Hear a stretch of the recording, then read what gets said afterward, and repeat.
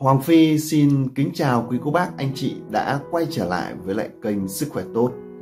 Chuyên mục tư vấn sức khỏe dành cho mọi người được phát sóng hàng ngày trên kênh Sức khỏe tốt.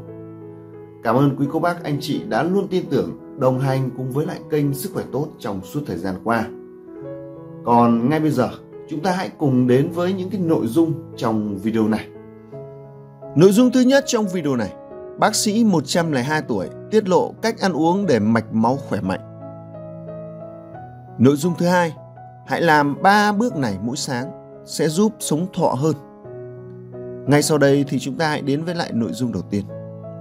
Bạn có bao giờ tò mò về bí quyết sống thọ của những người cao tuổi trên thế giới hay không? Bác sĩ William, một vị bác sĩ 102 tuổi, đã có câu trả lời cho bạn.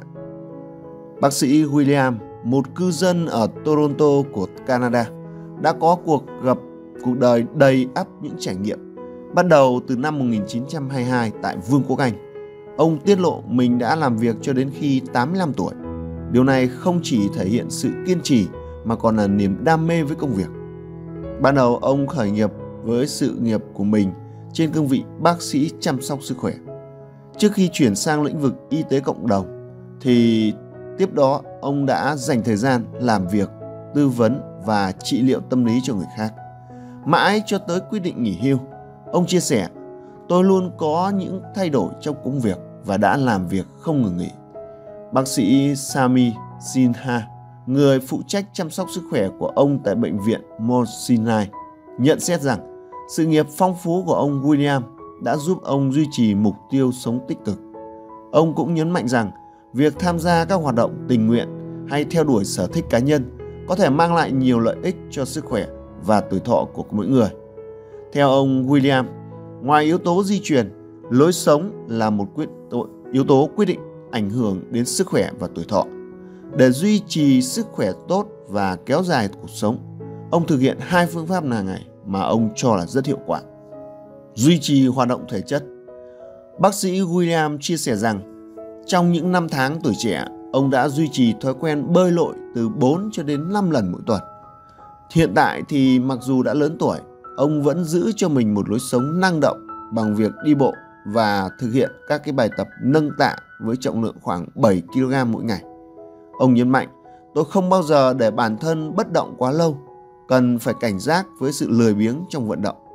Bác sĩ Sami Sinha, người theo dõi sức khỏe của ông William, cũng đã nhận định rằng sự kết hợp giữa các bài tập nâng tạ và đi bộ hàng ngày tạo nên một thói quen lý tưởng. Điều này không chỉ giúp duy trì sức khỏe tim mạch mà còn trẻ hóa hệ mạch máu và não bộ, đồng thời củng cố cơ bắp và xương.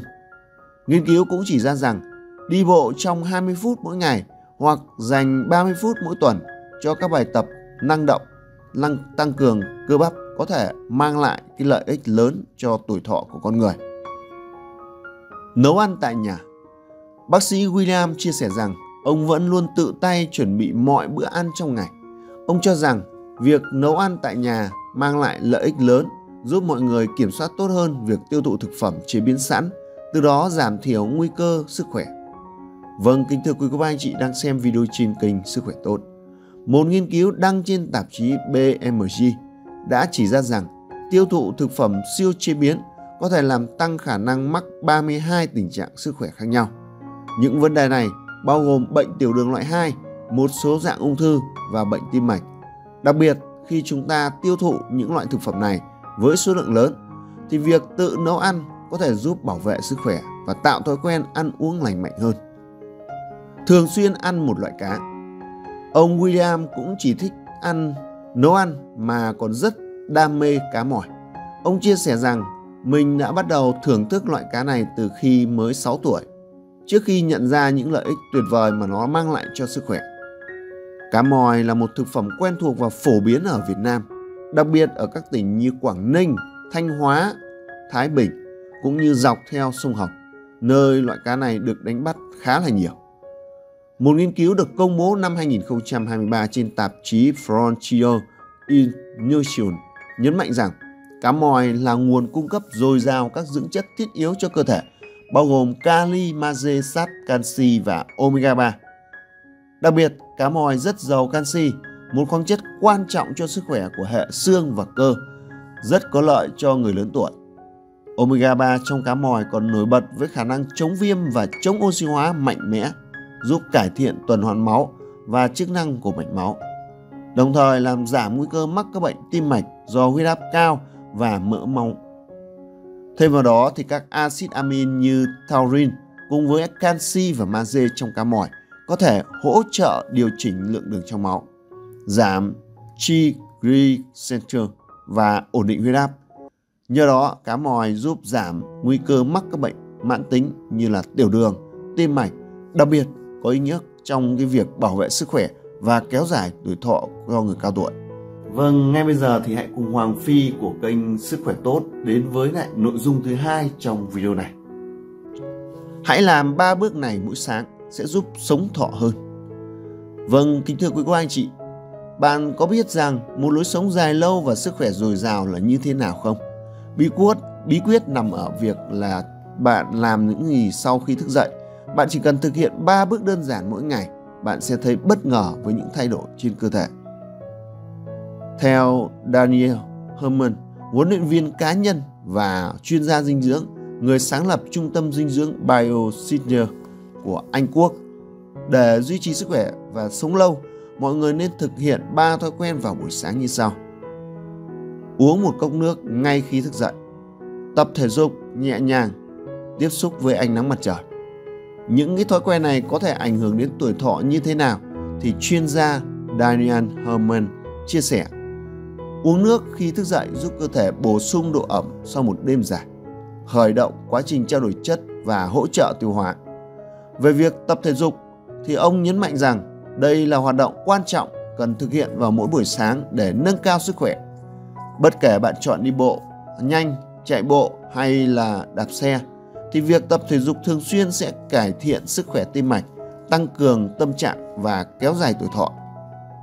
Ông với tiếp tục với lại đối với tiếp xúc với ánh sáng mặt trời vào buổi sáng thì Daniel Herman giải thích hoạt động này giúp điều chỉnh nhịp sinh học, thúc đẩy sản xuất vitamin D và ảnh hưởng tích cực đến tâm trạng cũng như là sức khỏe tổng thể. Ngoài việc duy trì ba thói quen đã đề cập thì chuyên gia này còn khuyên rằng vào buổi sáng mọi người nên hạn chế tối đa việc sử dụng các thiết bị điện tử. Thay vào đó hãy ưu tiên các hoạt động giúp tinh thần trở nên minh mẫn và thư giãn hơn. Bốn thói quen của người sống lâu nhất trên thế giới. Dan Buchner, một nhà thám hiểm và chuyên gia nghiên cứu về tuổi thọ nổi tiếng của người Mỹ, đã phát minh ra khái niệm vùng xanh để chỉ những khu vực có người sống thọ nhất trên thế giới. Qua các cuộc thám hiểm của mình, thì Daniel Bushner đã nhận ra rằng những người dân ở vùng sống xanh thì thường có bốn đặc điểm, bốn thói quen vào buổi sáng. Ăn bữa sáng giàu dinh dưỡng, Bonner khuyên rằng bữa sáng của người dân ở vùng xanh nên bao gồm yến mạch, sữa hạt yến mạch và một số loại hạt như hạnh nhân. Nếu bạn thích vị ngọt, có thể thêm một thìa siro cây phong và một chút quế để tăng thêm hương vị. Bữa sáng này có chỉ số đường huyết thấp, chứa carbon hydrate phức hợp, giàu chất xơ và có tác dụng kháng khuẩn. Nó không chỉ giúp bạn cảm thấy no lâu mà còn hỗ trợ kéo dài tuổi thọ. Vâng, kính thưa quý cô anh chị đang xem video trên kênh Sức khỏe tốt. Dành thời gian cho gia đình, mặc dù là thời gian có thể khá bận rộn, nhưng những gì dành cho một phút cho gia đình, cho những người thân yêu, những người dân ở sống vùng xanh luôn đặt gia đình lên hàng đầu. Theo như Butner, thì nền tảng của mọi nền văn hóa lâu dài trên thế giới là cách họ kết nối với nhau, ưu tiên gia đình hơn công việc và sở thích cá nhân. Uống một tách cà phê Người dân ở vùng xanh như Lycoria, Icaria và Sardinia thường bắt đầu buổi sáng bằng một tách cà phê có thêm một chút đường, không có kem. Nghiên cứu cho thấy uống cà phê không chỉ giúp bạn tỉnh táo mà còn cải thiện tâm trạng, chống chọi lại trầm cảm và giảm viêm nhờ các hợp chất chống oxy hóa có trong hạt cà phê. Đặt ra mục tiêu cho ngày mới. Một nghiên cứu từ Viện Sức khỏe quốc gia Hoa Kỳ chỉ ra rằng những người lớn tuổi có thói quen đặt ra và hoàn thành mục tiêu hàng ngày thường sống lâu hơn so với những người không thực hành thói quen này. Thiết lập mục tiêu mỗi ngày vào buổi sáng không chỉ giúp bạn đạt được những gì mà mình mong muốn, mà còn có thể kéo dài tuổi thọ. Ở nhiều vùng xanh thì việc có mục đích hay là gọi là động lực tỉnh dậy vào mỗi sáng là một phần thiết yếu trong lối sống của họ. Người Okinawa gọi nó là Ikigai, trong khi người Likoya gọi là Brand de Vida.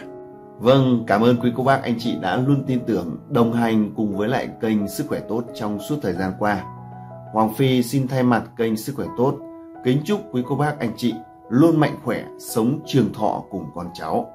Còn bây giờ, xin chào và hẹn lại trong các cái video tiếp theo.